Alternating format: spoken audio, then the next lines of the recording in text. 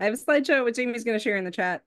Um, uh, given that we are a smaller group than anticipated today, I think, um, some of the things that we had kind of planned uh, may uh, around breakout groups and stuff we may just do in a big group. Um, so we're going to start with introductions. Uh, um, I am Ellen Lee. Uh, I'm a teaching assistant professor at uh, the University of Pittsburgh. Amy Pistone uh, uh, at Gonzaga University, now as officially associate professor. That's true. University. Yeah, as of I, I, think like today, it's official. my, my title change officially kicks in as of my pay raise. um, so uh, in terms of what we got on the agenda today, we're going to do some introductions, like I said, uh, essential agreements. Um, we had planned to do small breakout groups, but maybe we'll just do them in the big group and just then cut this out of the video. Um, we're going to do a, a, bit of what I call a, an overview of the TA instructor relationship to think through some things. Um, uh, we'll do some reflection, some fold group discussion. We'll have a break at about two. Um, then we were planning to do breakout groups. We'll see how that works with the the folks we have today. Um, and then uh, some additional discussion with a full group, however, however we want to make it work. Um, I want to introduce one more person though before we get started. Uh, Dora Gao um, is a grad student at the University of Michigan um, and is going to help with our facilitating from the grad student perspective today because Amy and I are now, uh, how did I put it a minute ago? Our grad student experiences are kind of inc- with increasing speed, like disappearing in the rearview mirror. Um, so uh, uh, we will have some some grad student perspective uh, and I I think it's possible, Tora, that you're the only grad student here. so um I didn't quite anticipate that. So you you might have to help us out in a different way than originally anticipated. Um so uh let's with with that said, let's go ahead and get started. Um uh all right, so WCC's essential agreement. So basically, for the duration of this session, uh, we want uh, everybody to agree to be fully present and fully participatory. Um, that said, if if there are things where you cannot participate because you get pulled away for a minute, or you're watching a kid, or whatever it is, um, that's cool. Uh, often, um, if you're not able to join in discussion, if we do end up breaking into breakout groups, just sending me or Amy a message to let us know that that's the case is is great.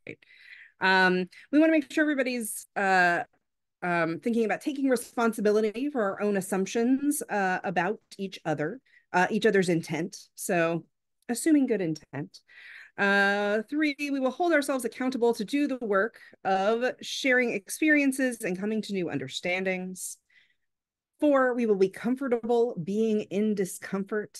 Um, some of these issues, especially talking about um, kind of power imbalances, may feel kind of weird for us. Um, and I think sometimes sitting in that weirdness and thinking about um, why we feel that way can be really helpful in thinking of new perspectives and new solutions. Um, and five, we will refrain from language or behavior that is threatening, harassing, or attacking of another participant. So that one, I think uh, that uh, goes without saying, I think, in a lot of ways, except we should say it and often. um, okay, so those are our essential essential agreements. Now let's get to jump in, I think, to some of the kind of content-based stuff today. Um, so I've spent the last couple of months coming up with a um, model TA instructor agreement because we didn't have one in our department. And at, as SBB said, right, um, uh, we're gonna have TAs in our department for the first time in a while uh, this semester. Um, uh, so I was thinking a lot about this. Um, I was working with our grad students, so a lot of this, the development of this, um, totally uh, is owed to the the um, our grad students Natalie and Abigail who uh, gave me notes on basically every version of this I I came up with. Um, Amy, you shared that in the chat, right? Sorry, I can't also see the chat while I'm doing stuff. I, I'm going to add it right now. I want it to be fresh, fresh in everyone's mind. I'll, I'll, and I'll reshare the go. slides just because we had, I know Suzanne, you had to pop out and pop back in. So I will share everything oh, yeah. afresh right now. Yeah.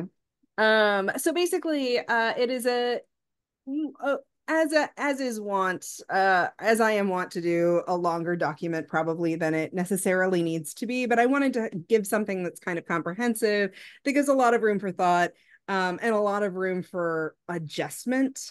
Um, so speaking of adjustment, one of the things that's kind of already come up a little bit is kind of this language around TAs or at Michigan GSIs or TFs or like whatever the terminology is. And it's interesting that as the terminology can somewhat be interchangeable, right? Um, uh, I think part of the reasoning at Michigan uh, um, of coming up with the title of graduate student instructor, right, was to make make it clear that the uh, graduate students are instructors in their own right, right? They're not just assistants. Um, they are growing and developing as instructors, right? Um, and that's a big part of the role. Um, teaching fellow is often sometimes sometimes the same thing as a teaching assistant, so, or sometimes that means you're the instructor of record in your own course. So there's a lot of terminology change. Um, so basically, anything I talk about here, you're going to have to suit to your own kind of context, I think. Um, uh, because all of this is kind of really variable based on institution and institutional rules, the department and the departmental culture, um, individual classes and instructors and kind of how classes work, um, as well as union contracts, uh, which are always an important thing to keep in mind.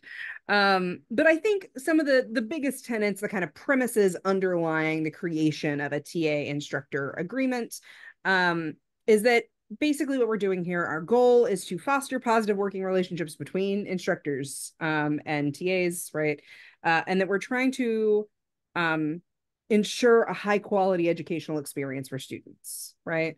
Um, those are correlated goals, right? Um, they they exist independently of each other, but they also go together, right? You can't really have um, the high quality educational experience for students without that positive working relationship.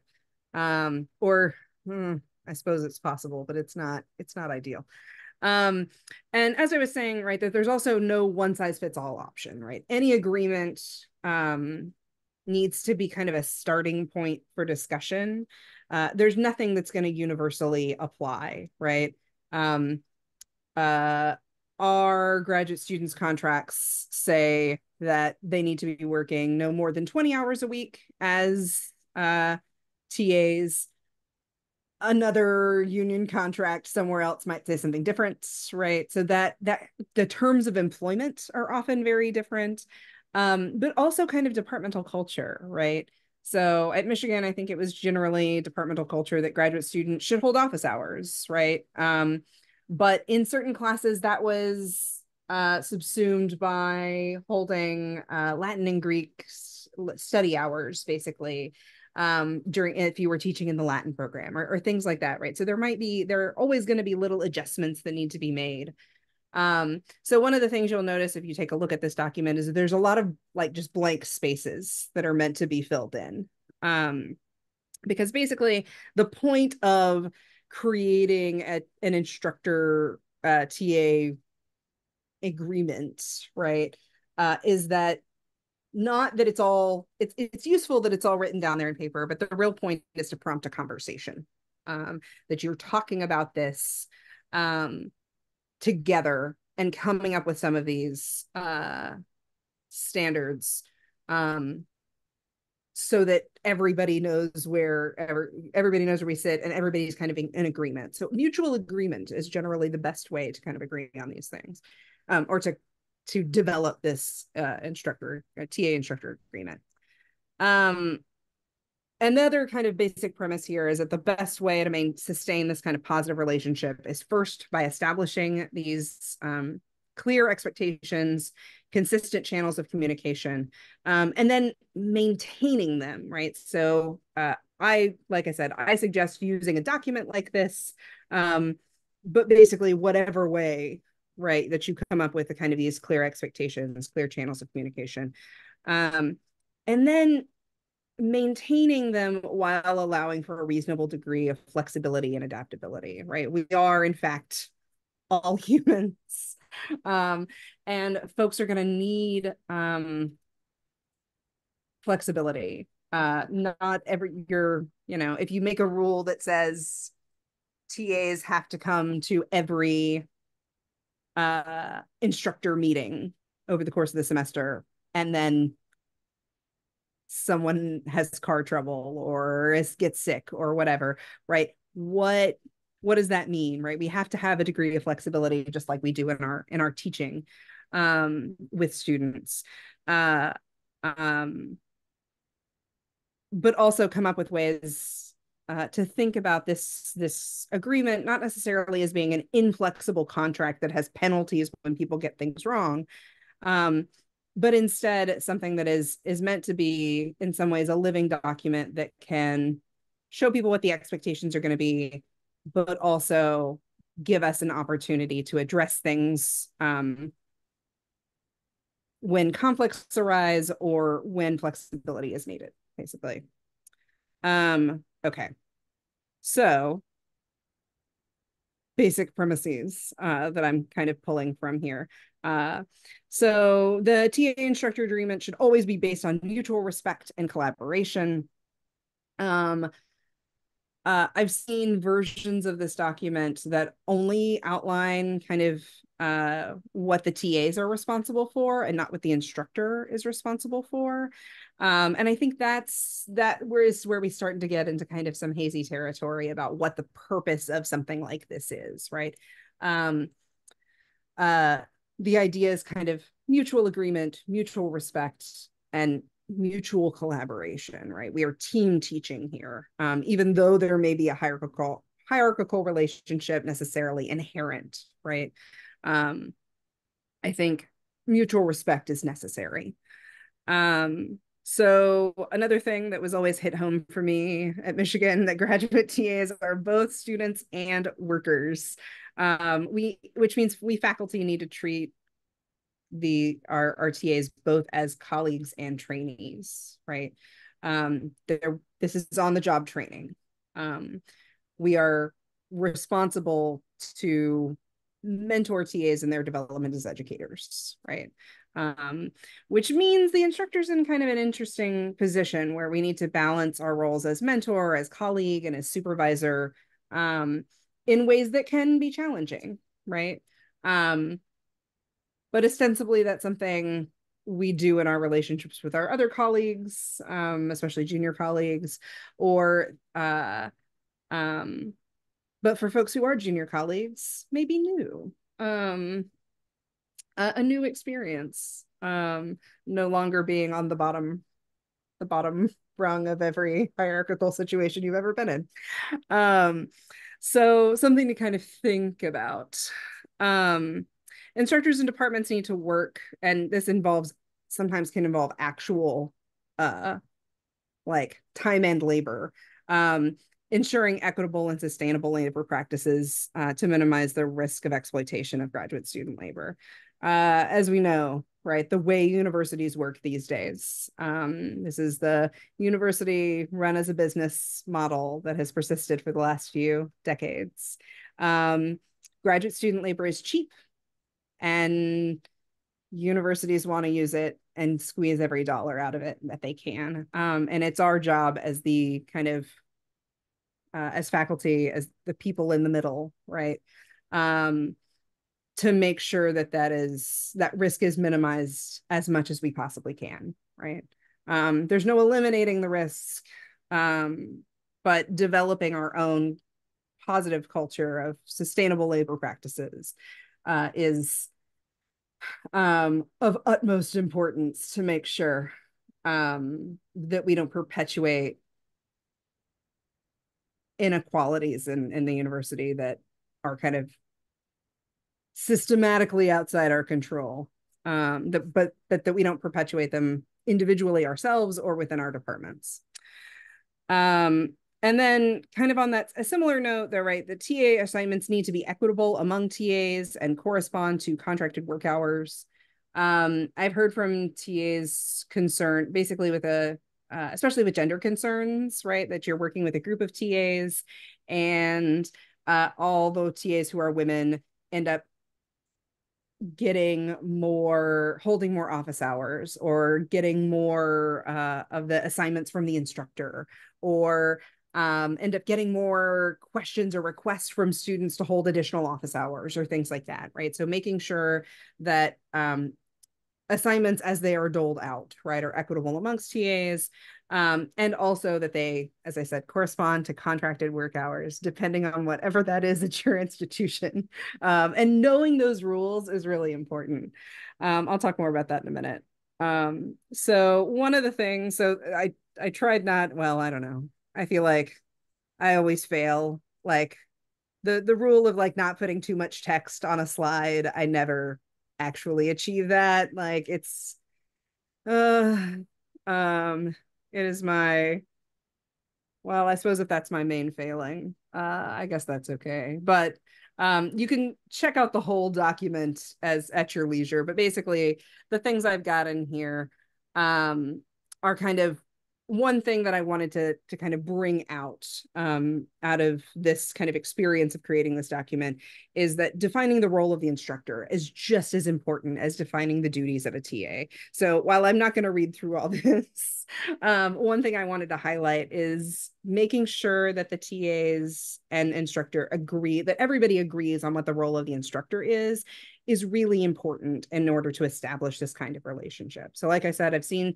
um, several of these kinds of documents uh, where the only duties that are outlined are those of the TA and not of the instructor, which leaves basically means that there's not kind of that means we're not starting off on the the same foot of kind of collaboration i think in a lot of ways if we're not talking about what the role of the instructor is as a group right? Um, but it also means that that tas aren't totally clear on what the role of the instructor is, right? Um, which can lead to kind of to conflict. Um, can I, if I can uh, jump in super quick, I just wanted to like complement that with it makes it less clear for TAs what they can ask for. Because if you don't know mm-hmm. what the mm-hmm. expectation is, then it it's not clear if you're allowed to ask for whatever you know whatever thing it is uh, clearer communication prompter communication um, work that stays within your contract hours. Like if there isn't i think if it's not clear what those expectations are then it makes it very uncomfortable for graduate students to ask their faculty to do something different um, and and sort of feel like it's they might be overstepping or they might be offending someone and right. it's not a good yeah. work environment. Yeah and i think um one of the other things about it too is that uh, I think we often, as faculty, don't necessarily think about what TAs might need us to do, um, and outlining that from the beginning, what the possibilities are for things that we could be doing for them. Um, uh, for, especially for those of us who may not remember as well anymore. Um those experiences or didn't have those experiences to begin with. Um for folks who weren't didn't have this kind of weird complex role um as a big part of their graduate experience. Um uh sometimes we need prompting to think about oh right. If I'm going to ask you to grade something, I might need to give you a rubric for that thing so you know how to grade it rather than me just giving it to you and assuming you know how to grade the assignment that I wrote, right? Um, so there's a lot of things like that that I think are worth prompting um, ourselves to think about as well. Um, uh, and then uh, one more thing that I wanted to flag out of this is something I already mentioned, right? Which is always keeping work hours and union contracts in mind when defining duties. Um, and one of the things that we were taught to do at Michigan thanks to GEO, the oldest grad union in the country. Um, was track work hours. And so, and I know that's something that is often really foreign to academics, right? This is not something we do a whole lot because if we did, we would just like cry ourselves to sleep at night. Um, but uh, especially when we're in charge of other people and assigning duties to other people, that's really important to think about how much time is it going to take you to actually do all this stuff? Am I assigning way more work to you than 20 hours a week right? And uh and from the graduate student point of view it's also really important to keep in mind right how much time am i spending on this stuff? How much time do i have for my other classes that i'm taking or other duties that i have to do on my dissertation or whatever it is right? Um uh, knowing what the expectations are in terms of time investment is really important um, just in order to kind of plan your your term, right? To plan your week. Um, so I suggest a kind of checklist like this with an estimated hours per week.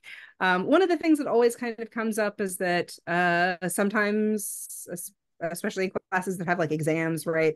Some weeks are really grading heavy, and some weeks are there is no grading or whatever, right? So um, average of hours a week, I think, is is usually how it's done.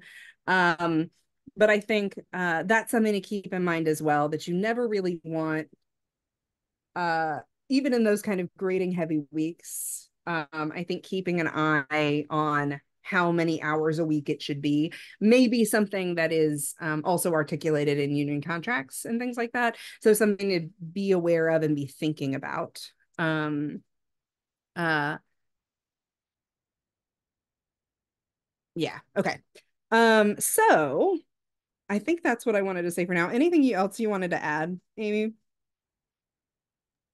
Um, I don't think so. I think uh I don't know. I think it's a great it's a great contract and I love that you uh set this up. It's yeah, I don't know. I think you did great. Thanks. That's so nice of you. no, no, um, 10 out okay. of 10. um so what i wanted to do before we so we're going to have plenty of time for discussion and conversation um if you have pressing questions, uh, you can feel free to maybe write them down or write them in the chat or something like that, and we'll get to them. I think after, uh, after we do this. But first, I want to do some individual reflections. So for three to five minutes, I'm going to have everybody think. Um, feel free to jot notes to yourself. Uh, but I'm actually going to like be quiet and give you time to think about some stuff. So, if you had to articulate it in one word or phrase, what do you think is most important for creating and maintaining a positive relationship between TAs and instructors. Um, and if you kind of think through that and come up with an answer to that, what do you think are the most important things to establish right away? So, what needs to be kind of first words out of your mouth in a meeting, right? Uh, in the first meeting um, between graduate students and and um, instructors, grad grad student TAs graduate student instructors. I don't know. I'm I'm just going to use TA because that's the insistent terminology. Um, so I want us to think about that, like I said, for three to five minutes. I'll probably set an alarm for four minutes. Why not? Um, and then we'll come back to the big group. If there's things that you want to not forget, though, feel free to type into the chat. Does that make sense? Okay. We'll be back in three minutes.